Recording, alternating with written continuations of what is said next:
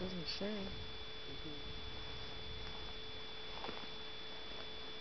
What do they Oh, eat? there. Sorry? What do they eat? Uh, they're actually omnivores. Yeah. They eat insects and grasses.